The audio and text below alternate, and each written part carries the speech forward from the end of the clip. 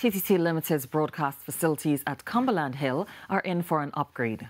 This project, funded by the Public Sector Investment Program, or PSIP, aims to replace the existing Guy Towers with a new 150-foot self-supported lattice tower.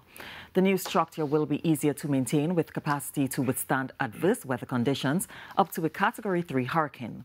When asked if this change would negatively impact the broadcast capabilities, Minister in the Office of the Prime Minister Communications, Symon de Nobriga, had this to say.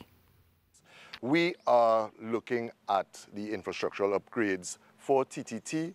Um, of course, most importantly, as we go through this institutional strengthening, the impact to TTT's viewership will not be impacted, which is always good. We are very, very focused on doing the best job, but also the safest job. So, of course, working with the contractor and with TTT to ensure that while we are doing this during the rainy season, that it is being done as quickly as possible, but also as safely as possible.